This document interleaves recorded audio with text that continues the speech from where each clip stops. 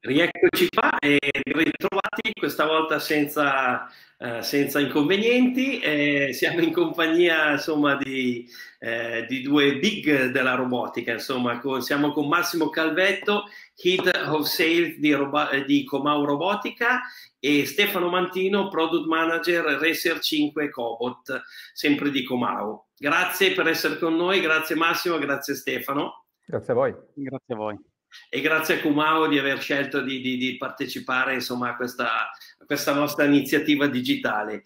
Ehm, siete l'ultimo Tech Talks della giornata, entrerei quindi subito nel, nel, nel vivo del discorso. E, insomma, siete qui per parlarci di robotica collaborativa, quindi vi chiederei subito di, eh, è, di spiegare qual è l'approccio di Comau a questo particolare segmento della robotica di cui anche oggi nell'arco della giornata abbiamo parlato, abbiamo detto che è, insomma, è quello con le potenzialità applicative più ampie.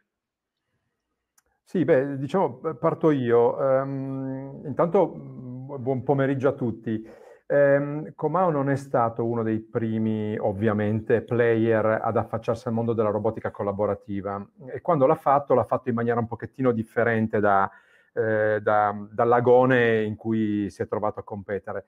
E, e effettivamente siamo entrati sul mercato con un, una macchina veramente molto speciale nel mondo collaborativo, una macchina da 170 kg e 2,8 m di sbraccio, che già di per sé è una cosa un po' strana nel mondo della collaboratività, eh, con una tecnologia eh, che consentiva di rivestire, che consente perché è una macchina tuttora eh, utilizzata che stiamo vendendo, ehm, eh, rivestiamo il robot, eh, un robot industriale Comao con delle pelli all'interno delle quali sono legate una serie di sensori che consentono con eh, la certificazione di rendere la macchina collaborativa. Macchina e i tool collegati alla macchina, quindi il gripper, che è uno degli elementi eh, importanti nell'ottica quando si parla di robotica collaborativa.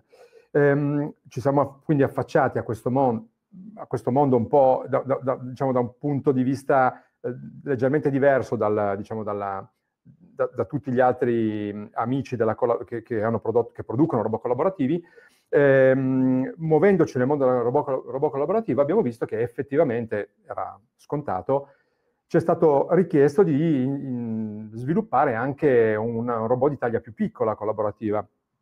E quindi da qui ci siamo chiesti come, eh, come muoverci, cioè fare un qualcosa di collaborativo puro, un qualcosa di, di nuovo con la stessa tecnologia di quello grande. Ehm, lascio poi Stefano la, la, la spiegazione nel dettaglio. Il concetto è stato quello comunque di mantenere come base un robot industriale. E su questo, come nel caso di Aura, che è il, robot, il nome del robot da 170 kg, anche il, Cobot 5, il Racer 5 Cobot eh, di Comao proprio l'ultimo entrato nella nostra gamma, eh, ha come base un robot industriale e questo ci consente di avere tutta una serie di, di vantaggi che direi che Stefano poi più tardi vi illustrerà. Quindi diciamo ci siamo arrivati pian pianino e adesso cerchiamo di ritagliarci anche noi il nostro spazio uno spazio importante, benissimo, ti ringrazio Massimo. E beh, insomma, eh, siete reduci proprio da, da, da, dal, dal lancio di Racer 5, giusto? Avvenuto la scorsa settimana, giusto? Ecco, allora vi chiederei di, di, di, di spiegarci qualche cosa di più. Avete definito Racer 5 un cobot speciale. Ecco, vi chiederei il, in che senso speciale e capire che differisce, in che cosa differisce rispetto ad altri cobot che sono presenti sul mercato. A questo punto credo la parola passi appunto a Stefano, giusto? Sì, ok. Allora, provo a... Scusami, ti interrompo un attimo Stefano, invito il pubblico che ci sta seguendo anche a formulare domande e essere partecipe insieme a noi a questo Tech Talks. Vai Stefano. Perfetto, allora, eh, perché, perché, è speciale? Perché di base mh, è un robot industriale e siamo riusciti a rendere un robot industriale un robot collaborativo. In altre circostanze il modo più efficace per eh, trasmettervi questo prodotto sarebbe stato effettivamente toccarlo no? con mano, farvelo provare e farvelo apprezzare. Purtroppo Magari. ci troviamo, eh, esatto, purtroppo in Prima questa poi. condizione prima o poi, esatto, spero che tutti quanti abbiate modo poi di, di fare anche questo, questo, questo, test. Provo a compensare, eh, diciamo, questa mancanza con un breve video, un minuto e mezzo, dove facciamo vedere un po' l'approccio di sviluppo che abbiamo avuto su, mh, per questo robot. Siamo partiti dal Racer 5, un robot eh, già nella gamma di Comao da parecchi anni, che è un robot velocissimo, uno tra i più veloci al mondo, e quindi tutte le caratteristiche del robot eh, Racer 5 sono state mantenute per provare a creare una versione collaborativa. Uh, questa versione collaborativa ha la peculiarità, che forse veramente è, è, quello che lo rende in qualche modo speciale, di saper riconoscere appunto la, la, presenza o meno di un operatore eh, che entra nella sua area e in automatico cambiare la sua modalità di funzionamento da Racer 5 eh, industriale, che co- come di fatto è, a robot collaborativo, un Racer 5 collaborativo. In questo caso lo vediamo per esempio associato a un laser scanner, ma possono essere diversi i dispositivi di sicurezza che riconoscono la presenza di un operatore. Appena l'operatore non è più nell'area del, di funzionamento del, del, robot, vediamo che il collaborativo eh, dimentica di essere un collaborativo e comincia, eh, si ricorda di essere un robot industriale, no? quindi raggiunge quelle prestazioni elevatissime. Okay. Um, detto ciò, abbiamo quindi sicuramente introdotto questo robot, se vogliamo, ibrido, no? che quindi ha queste, queste due anime. Eh, ovviamente tutta la parte di sicurezza eh, è stata ampiamente certificata, abbiamo certificata con eh, col TUF Sud che, che, è una società di certificazione indipendente no? che è riconosciuta a livello mondiale. E, ehm, dopodiché abbiamo cercato però di, di, di introdurre ser- delle caratteristiche, di mantenere più che introdurre tutte le caratteristiche che portano dei vantaggi anche sulla gamma industriale sul robot collaborativo. E mi sto riferendo a tutti i servizi che mi ho portato direttamente in flange, direttamente al polso. Quindi abbiamo dei servizi ehm, pneumatici per l'aria diretta o comandato con elettrovalvola, abbiamo, portiamo degli I.O. digitali, portiamo della potenza, tutto quanto posizionato vicino al polso. Ecco, magari condivido e poi eh, smetto di, di, occupare lo schermo. Di nuovo una, una rapida presentazione non è un eh, problema, è una possibilità offerta, quindi sfruttala. Anche perché è più chiaro così.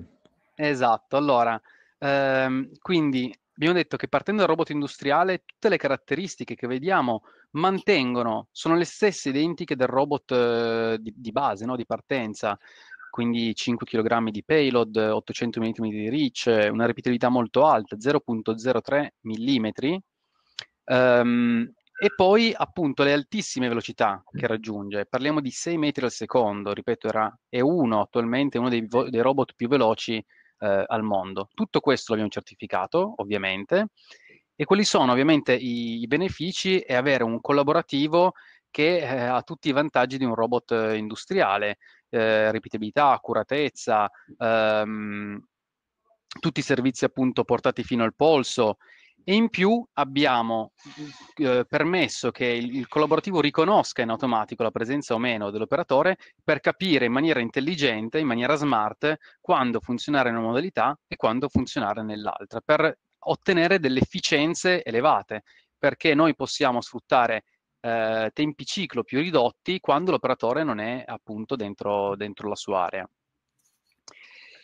Per, per, parlare un pochino meglio, ma giusto per farvi capire cosa intendevo per servizi al polso, eh, vediamo che mh, a sinistra, ci sono queste due immagini del Cobot, abbiamo eh, da una parte due connettori, quindi connessione Ethernet per la trasmissione di dati input-output digitali e qua abbiamo anche una potenza 24 volt per poter alimentare per esempio dei, dei tool elettrici, dall'altra i servizi pneumatici per l'aria diretta e quella comandata dall'elettrovalvola e poi abbiamo introdotto questi due pulsanti. Questi qua sono inediti, non c'erano nella versione standard, proprio perché essendo un robot collaborativo deve interagire direttamente con, con l'operatore e per poter interagire abbiamo introdotto questi due, due pulsanti.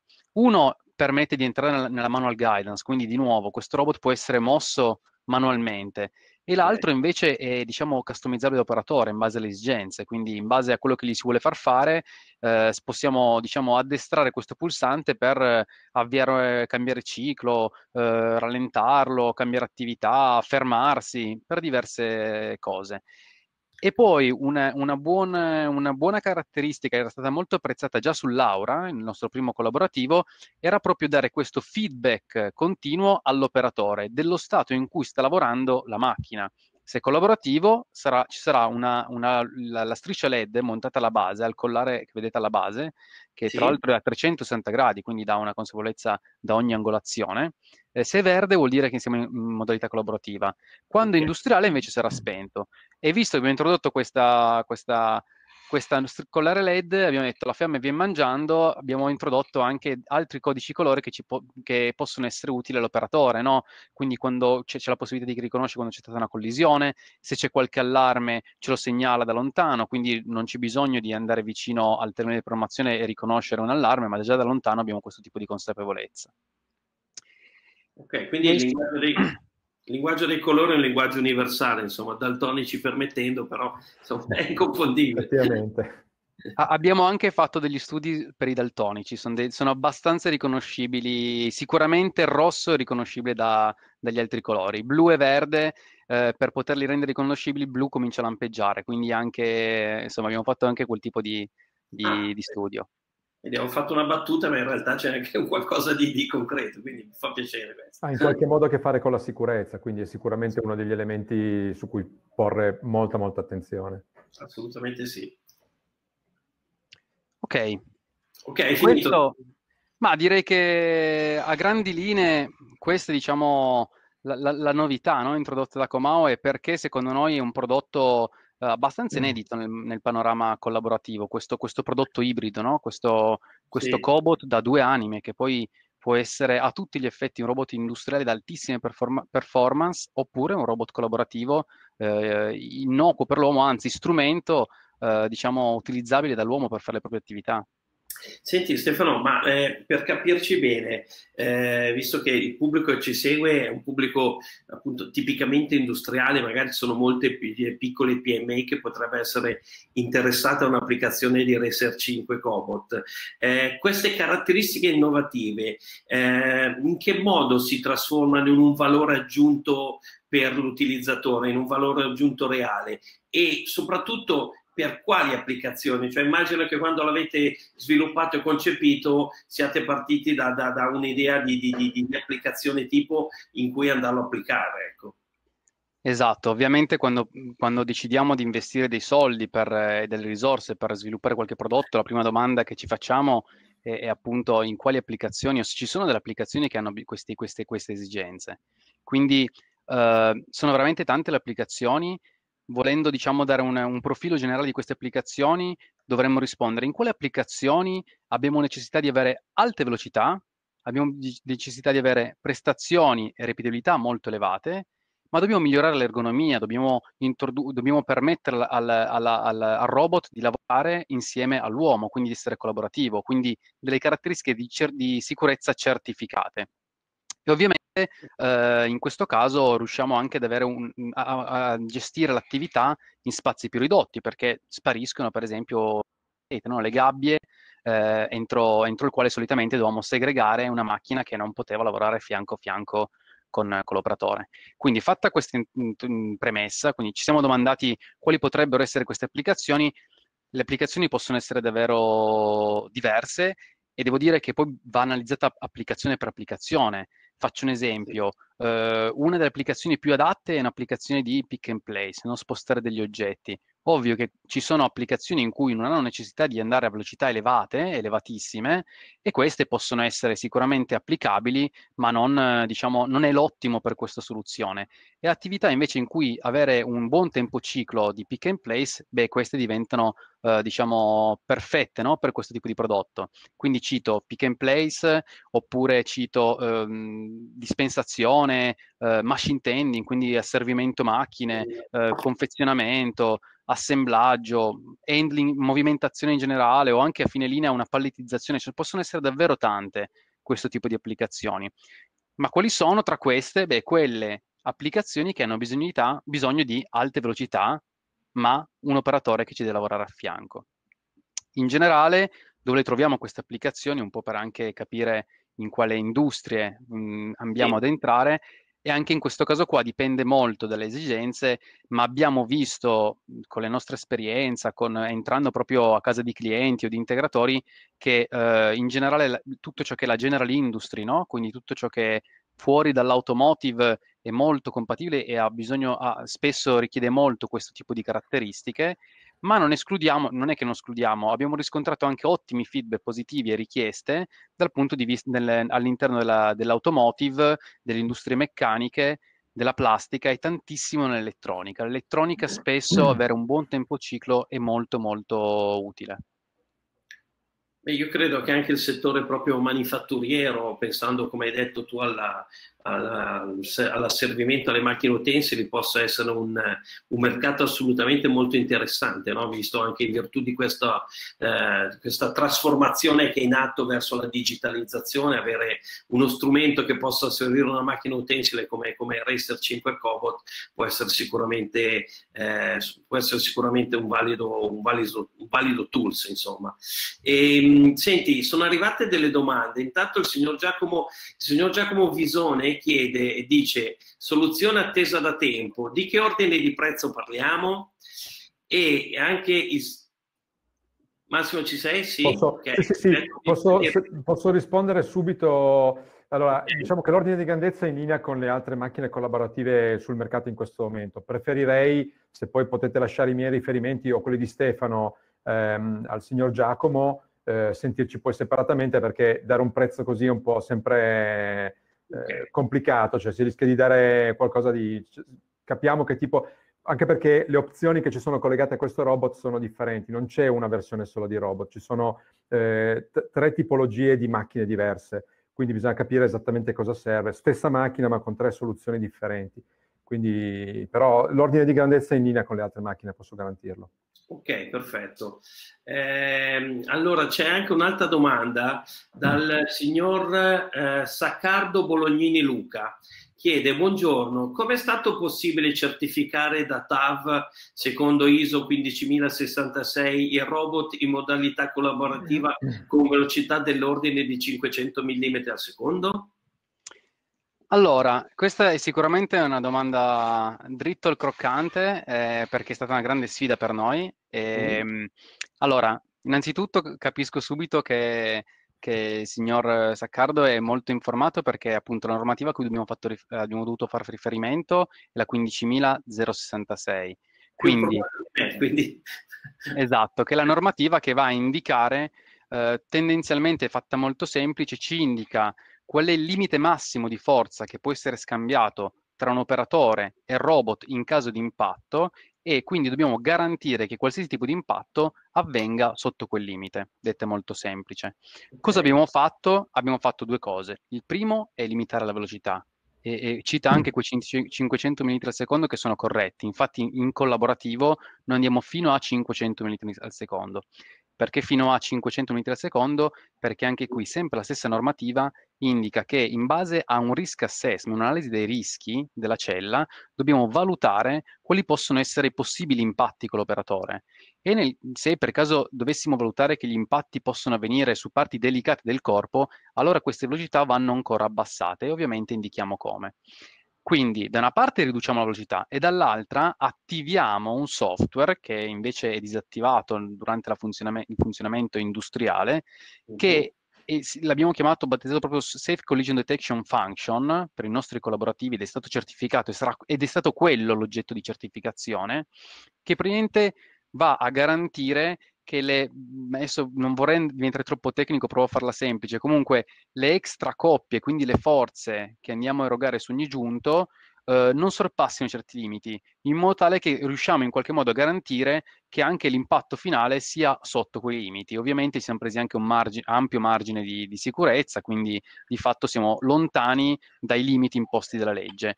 E giusto per eh, maggiore garanzia, eh, oltre ad aver certificato il, il, software, ogni cobot che esce da Comau lo testiamo dentro Comau in una, cicla, in una cella automatica dove simuliamo 60 impatti diversi e verifichiamo che per ognuno di questi impatti stiamo sotto quei limiti e di fatto ci stiamo.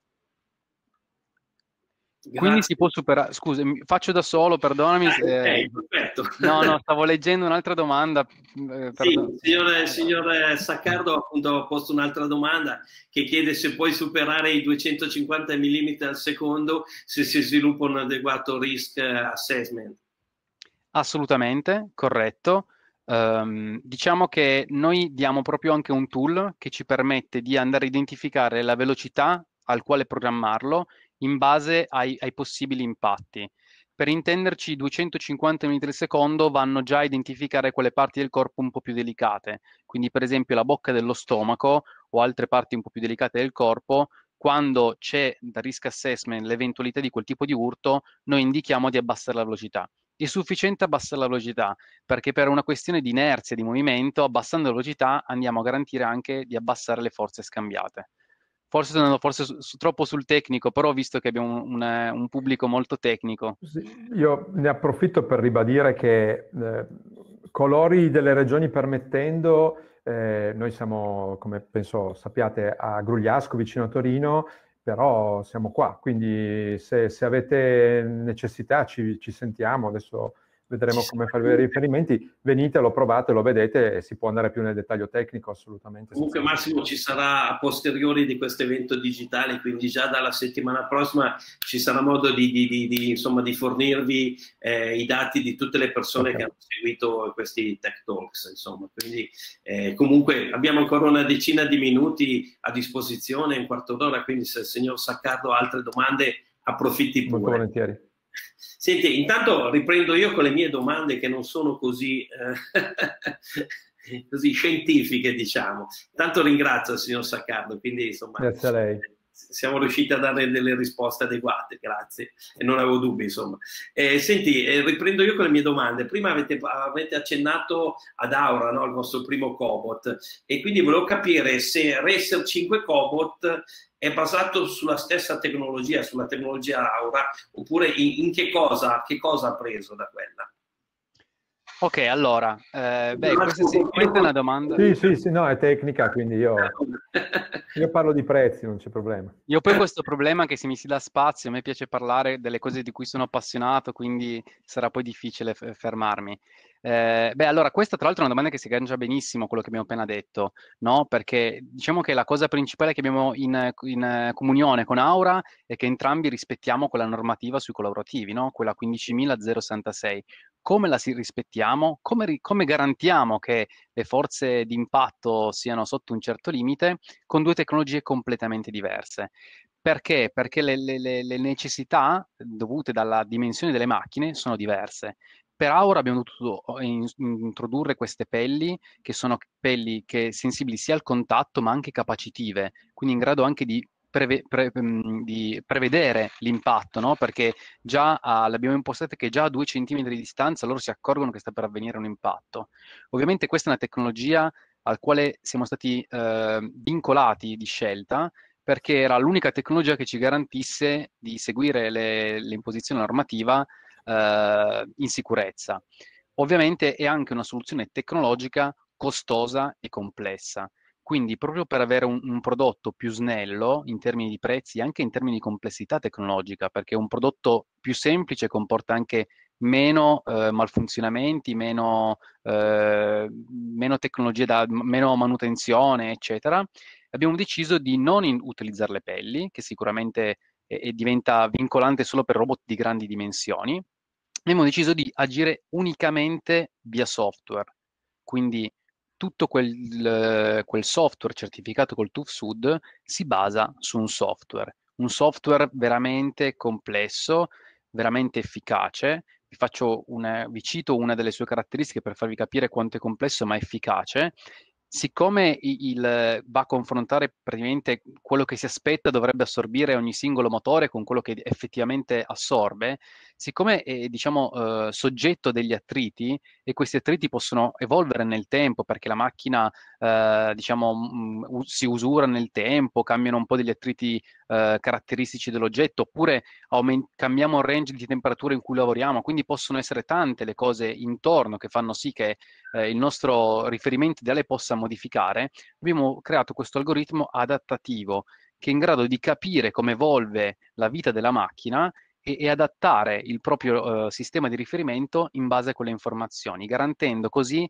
una ottima e una perfetta sensibilità rispetto a quella con cui esce durante tutta la vita di funzionamento della macchina.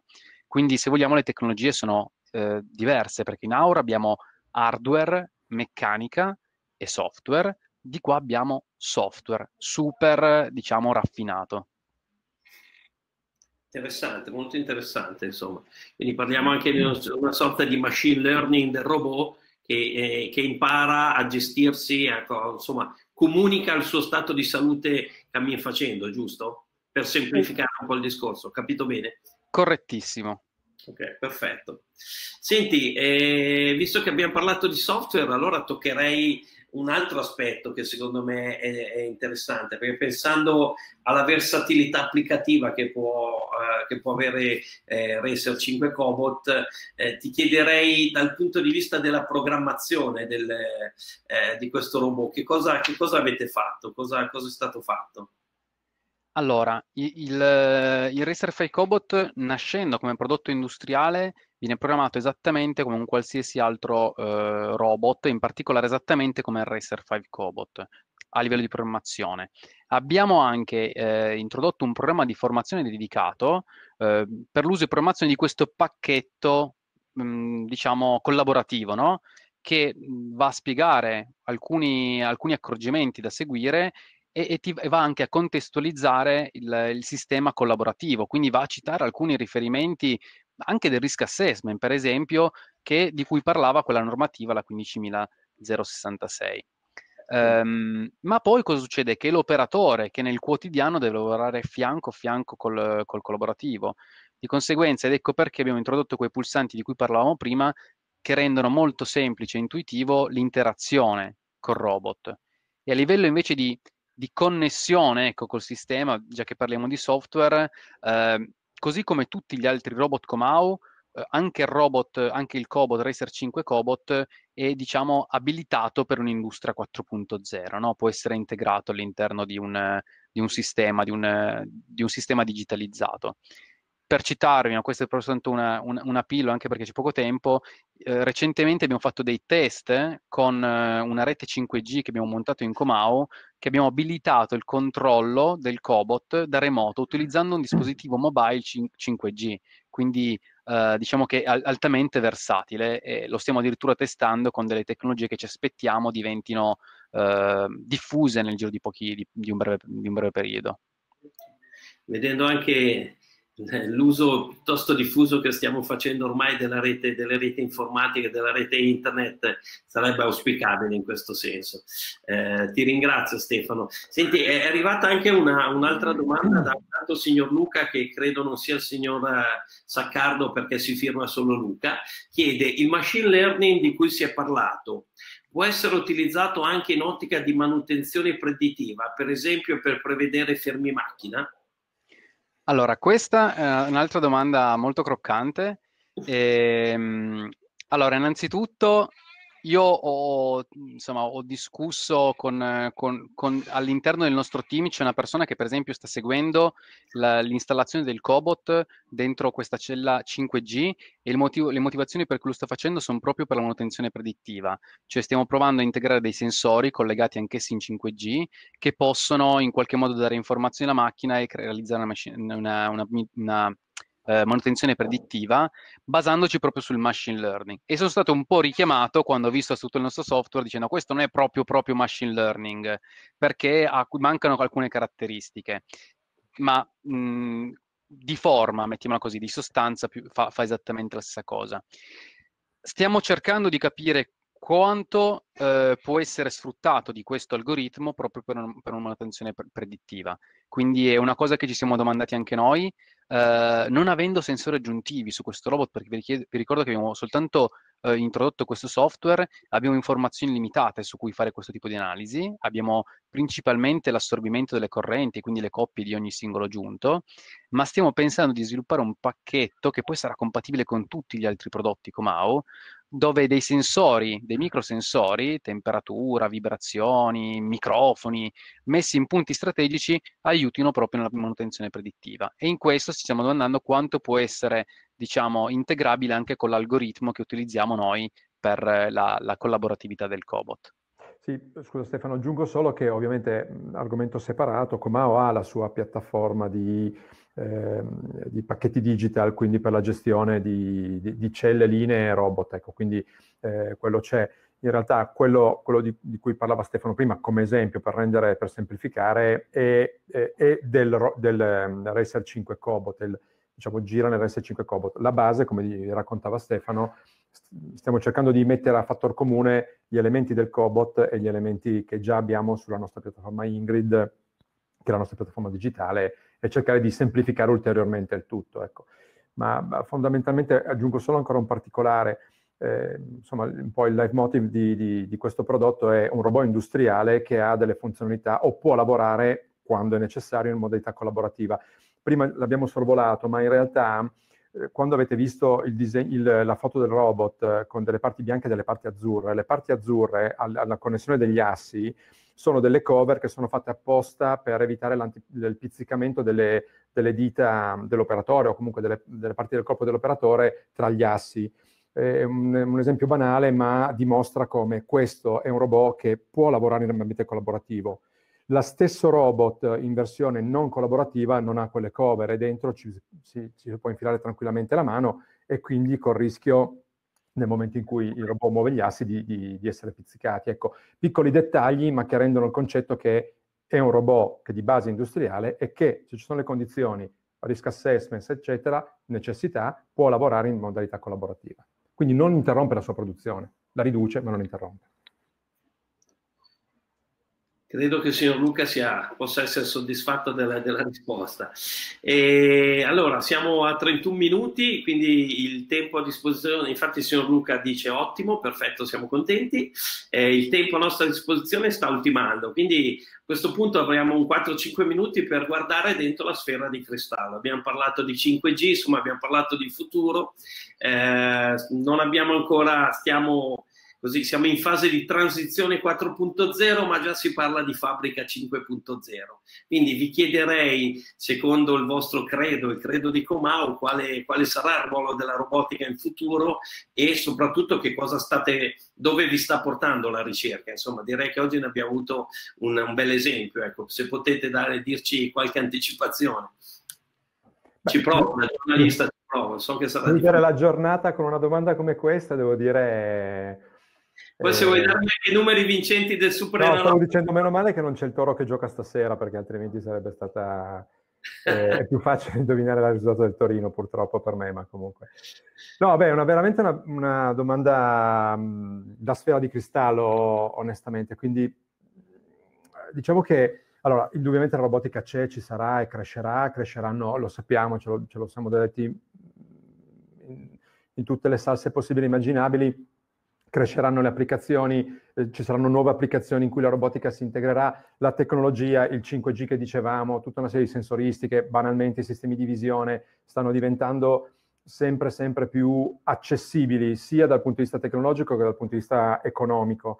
Quindi questo apre eh, il campo a diversi tipi di applicazioni.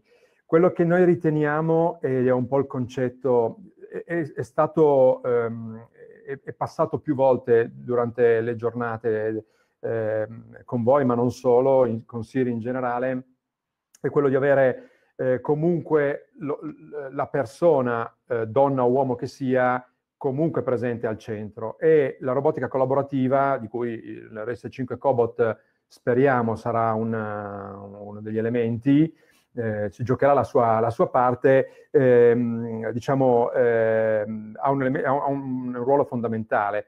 Quindi la, la, fabbrica buia c'è, esiste, ma esiste in determinate condizioni, in determinate eh, applicazioni, settori. Più in generale il robot e il robot collaborativo su tutti con tutti, utenti, con tutti, i tool di contorno, eh, perché il robot da solo è una cosa, ma il gripper è un'altra, il, il, il, laser scanner o quello che c'è, il sistema di trasporto, eccetera, intorno, sono tutti elementi che eh, devono essere, come si è già detto più volte, eh, tool per l'operatore. E Comao, appunto, con il nostro mantra You Manufacturing, stiamo continuando ad andare in questa direzione. Facciamo automazione, la vogliamo fare con i robot, però la vogliamo fare con dei robot o altri prodotti che diciamo, aiutino l'operatore a risolvere, a semplificare la sua vita, diciamo così. Per esempio l'esoscheletro è uno degli elementi che abbiamo, uno dei prodotti che abbiamo negli ultimi due anni messo sul mercato, che non è un, viene chiamato robot dagli addetti ai lavori, ma in realtà per noi diciamo, storici addetti ai lavori della robotica antropomorfa assolutamente non lo sono, ma danno un aiuto all'operatore, esattamente come il cobot eh, di cui stiamo parlando oggi. Quindi per rispondere, bah, eh, onestamente, io personalmente vedo comunque la robotica sempre in crescita. Ci saranno applicazioni che forse scompariranno, si ridurranno, ce ne saranno delle altre che cresceranno. Il mondo della general industry, cioè tutto ciò che non è una scocca auto, ehm, è talmente ampio che pensiamo al campo dell'agricoltura, su cui ci sono diciamo, attività in, in pista, eh, se si apre quel, quel mondo, quando si aprirà, non se, ma quando si aprirà quel mondo, eh, diciamo, avrà un, la, raccolta, la, la, differenziazione dei rifiuti, insomma ce ne sono veramente eh, tantissimi. E tra l'altro mi hai offerto un assist per eh, così Ehm, avvisare il pubblico che ci segue che nella giornata domani, di domani parleremo anche di robotica di servizio no? in maniera diffusa, quindi eh, la robotica che entra, come hai detto tu, nel mondo dell'agricoltura e in altri ambiti del, della, della, nostra vita quotidiana. Insomma. Eh, che aggiungere? Io non ho più domande, dal pubblico non ne stanno arrivando, quindi direi grazie Massimo, grazie Stefano per, per... Ah, è arrivata una domanda in extremis. Se è possibile, gradirei in contatto con il relatore Comau, parte tecnica, grazie. Speravo, signor... speravo, la parte commerciale, onestamente, ma vabbè, non importa. Comunque, niente, signor Sandro, sicuramente avrete modo di, nei prossimi giorni, eh, faremo modo di mettervi in contatto, insomma, è il nostro ruolo, stampa tecnica B2B business to business, quindi vi metteremo sicuramente in contatto. Grazie Massimo, grazie Stefano, grazie al pubblico che ci ha seguito e vi invito a continuare a farlo nella giornata, nella giornata di domani con eh, altri sette tech talks assolutamente interessanti e importanti. Ciao Massimo, ciao grazie Stefano. A tutti, grazie a tutti e buona serata. Grazie ancora, grazie, grazie Fabrizio, grazie a tutti. Grazie a tutti. Ciao ciao. Ciao.